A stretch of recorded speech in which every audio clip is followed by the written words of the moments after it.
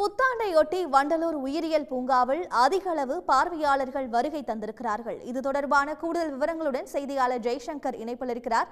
ஜெய்சங்கர் வண்டலூர் பூங்காவில் எவ்வளவு கூட்டம் அதிகமாக காணப்படுகிறது? அங்க கூட்டத்தை கட்டுப்படுத்த மேலும் என்ன மாதிரியான ஏற்பாடுகள்லாம் செஞ்சிருக்கிறாங்க?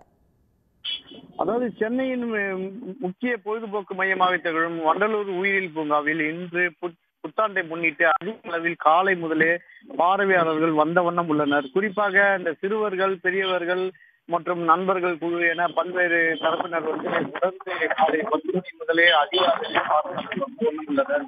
தற்போது வரை ஒரு பன்னெண்டாயிரத்துக்கும் மேற்பட்ட பார்வையாளர்கள் வந்துள்ளதாக அங்குள்ள வனத்துறை அதிகாரிகள் தெரிவித்துள்ளனர். இந்த இதற்காக வண்டலூர் உயிரியல் பூங்காவில் அது அதிக அளவு டிக்கெட்